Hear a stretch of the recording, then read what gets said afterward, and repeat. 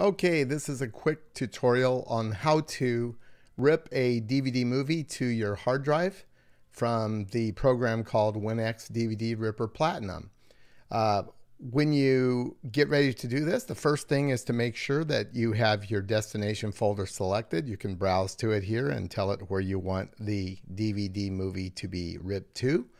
And then hit, make sure that your DVD movie is in the uh, DVD disc player and that Windows has recognized it. You know, it takes 20 seconds for it to find it. And then hit DVD. And then once you do that, hit OK so that it will read the disk, the movie that you're trying to rip to your hard drive.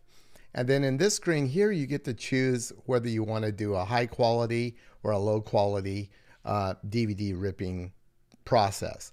The low quality is fast and the high quality is slower. So uh, just depends on what you want to do there. I like high quality, so I go that way. And then it looks at the disk, at all of the videos on the disk. And in this case, there's five.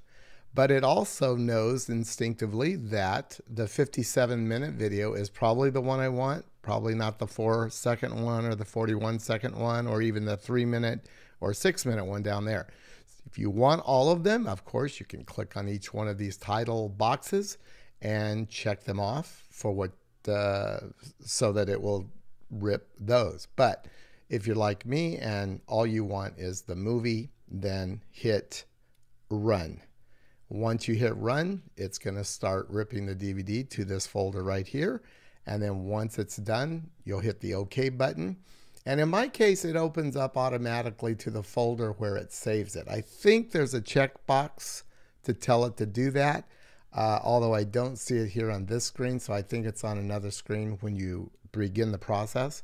So um, keep that in mind. If, if your folder doesn't open automatically, there's probably a checkbox you need to check and I'm not offhandedly able to tell you where that is. But anyway, this is going to get your movie from the disk to your hard drive, and you'll be set.